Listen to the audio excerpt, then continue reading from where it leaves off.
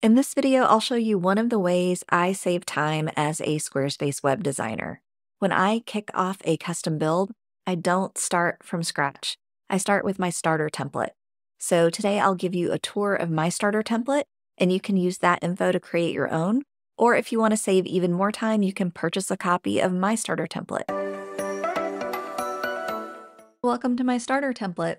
This is what I use to duplicate to kick off custom builds so that I have a bunch of stuff already done for me and it really streamlines the initial setup. I'm going to give you a tour of everything that I have in this starter template to give you some ideas on creating your own.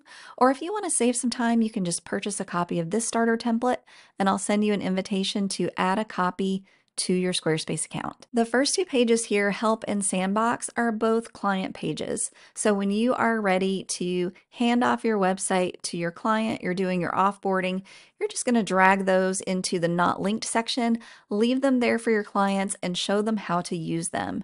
So just very quickly, the help page is if they get stuck on something. You'll delete this section up top that explains what the page is about, and then this is what your client will see. Need a little more help? You can put some information here on their support that you offer and then how to book you after support is over. Underneath this section, I love to put some notes, reminders for them to save sections as a backup before they start editing, and to always check the site on mobile after edits because, as we know, things can shift around. After that, I have some subheadings here of different things that I think they might want to do on the website. For example, adding images. I would link up a walkthrough video here showing them how to add an image to their website with notes on resizing them, optimizing them, setting alt text, and how to use the asset library. Very often my clients want to add additional testimonials, so I would create a walkthrough video and link that up here. Lots of my clients have accordion blocks on their site for jobs or resources that they want to edit from time to time. So, again, another walkthrough video here. If we're using email campaigns and I have that set up, I'll create a walkthrough for them on sending email campaigns and link that up here. And then I always include after site launch because when we've linked up Google Search Console, they're going to get those scary emails from Google Search Console saying things like error on your site, text too small to read. So I have a little link here and I mentioned to them when we connect it, they're going to get those emails and they sound scary, but there's nothing to worry about. And this links to a blog post explaining what those are. And then finally, a few steps they can take to improve SEO after site launch. And then in this column, I've got the fonts and colors so I can direct them here when they need that information instead of sending them to site styles where they might dig around and change some things. So there's a link where they can view their palette. I have an image here of their color palette. I have headings and paragraph fonts here so they know that information. And then this area below is custom code backup. So anywhere I have page injection code or custom CSS, I drop that in here because if something goes awry, if somebody gets into that custom code and starts messing around with it, you have a backup here so that you can always restore it from how it was when you launched. All right, so this help page is kind of for you, but mostly for your client. And again, when you are ready to launch their site, you'll just drag that down into the not linked section. You'll notice that I already have this hidden from search results, so it's not going to show up in search results. And you're just going to want to walk them through how to use this help page when they are ready to make some changes to their website or if they have any questions about the site styles. The sandbox is another page for your clients. And again, you're going to drag that into not linked when you're ready to launch. And what I do with this page is I drop in sections that I've created on their website that I think they may be editing at some point in the future. So I will just add section after section after section here. And this is kind of like a training wheels area. They can play with these sections on this page and it won't break anything on the live site. So clients really love this because it helps them get comfortable with using Squarespace with editing their site with zero stakes. And we have the header and the footer removed from this page. So there is nothing they can break. So once they get comfortable here, they can go and edit the live site. Now, this next page is for you as a designer. After you've duplicated the site and you are trying out new fonts and colors for your new custom website for your client, you're going to be able to see at a glance the sizing of the fonts, how they look together, the colors of all your different sections. And another thing that I like to do is go through and set up the buttons. So I have a primary button, a secondary button, and a tertiary button so that I could have a primary button next to a secondary or a tertiary and it would look really nice together. So that's something that I go through and set up for each section and I can just see it all at once and see how it will all work together. So as you're changing out your fonts and your colors, you'll see how they look in text, in buttons, in a newsletter block with a background, and in a form block. So it's really easy for you to hop in and make any tweaks before you start building out the site. This next page is just a time saver. A lot of my clients want a link in bio site for their Instagram. So again, here I just have the basics set up so I can pop in their logo, change what these buttons are and what they point to on the website in advance.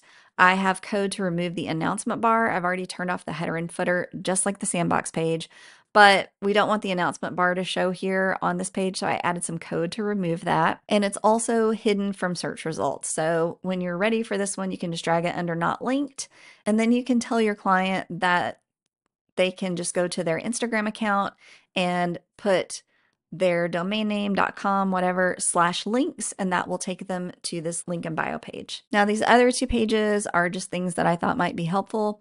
I added a toolbox page for all the products and services that I use in my business on a regular basis. Some of these are affiliate links and some of them have discount codes. So be sure and check out the discount codes here if you are going to try out one of these platforms. So you can keep this until you duplicate the site for your client. And then on that duplicated site, go ahead and just delete this page. Same for FAQs. You could certainly keep this styling if you wanted to set it up for an FAQ page for your client, or you can just delete this page once you've started on your client design. Now, those were the pages, but there's more. One thing that I'm a little particular about are the site settings. So I have those set at my preferred defaults. You can absolutely change these if these aren't your favorites. But if we go under miscellaneous, I turn off animations for the site. I rarely use them, but if I do, I want to be able to add them in rather than having to take them out. For site spacing, I like to have a page width max of 1440 pixels. That looks really great on laptops, which most of my viewers are on. And it's a little easier to size up and make it look good than if I started with a really big page width max here and had to size it down for laptops. So this is what works best for me. And the site margin, I use six view widths and a hat tip to Chris Schwartz Edmiston, who figured out that this site margin really makes your auto layout list sections look good on mobile. And we'll get back to those in a second. Now, I also have my custom code preloaded that I use on most sites. So if we go over here and open up our custom CSS panel, just a quick run through of code that I use on a lot of sites. So I have it loaded here. The first is changing the default margins of your heading text. And I have this set to 1 rem, which means that the margin is going to be the same as the font size. And I just feel like that keeps it a little tidier looking. So I like to add that custom code to every site. I also have code to move the header social icons a little closer together. Otherwise, they look weirdly spread out to me. So I just snug them up a little bit so they look nicer. On a lot of sites, I also change the active and hover nav states. So I remove the underline that is normally here and I change this to be my dark color from my color palette for both active links and hovering. And finally, we would see this on the client help page. I wrap the code blocks because otherwise all the code gets cut off weirdly and you have to scroll left and right. So I just make sure to wrap the code so I can see it all at a glance. So that's the most common custom code that I use. So I have it all loaded here so I don't have to hunt for it and paste it in. And I can just delete anything that I'm not going to use. One of my pet peeves with site styles is when a whole bunch of fonts are loaded that you're not actually using. So what I've done in this starter template is pare down to just two fonts. One is for headings and one is for everything else. So when I click here, you can see that only those two fonts are loaded in the style guide. There are some Squarespace templates that have a bug, so extra fonts are loaded and you can't track them down and get rid of them.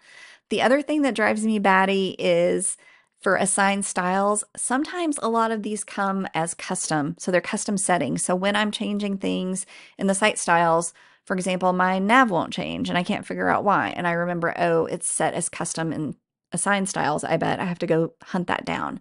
So I've taken out all of the customized settings here and you can go in and customize it if you'd like, but you're starting from a nice clean baseline. And finally, I have a few of my favorite layouts loaded here on the homepage so that if I use them on the client site, I can just go in and save that section and reuse it somewhere else. One of my favorites is doing a fake header for the list section so you can have a description underneath. So you can see these are actually two sections and I like to get the spacing just right. So I have this set the way I like it and then I know I can use it on the client site and I'll be happy with how it looks.